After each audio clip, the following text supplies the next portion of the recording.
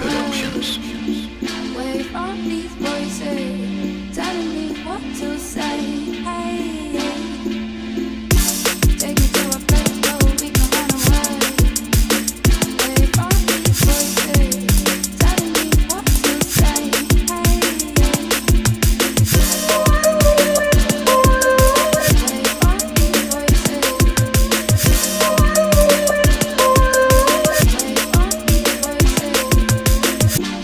Take me to a place where we can run away.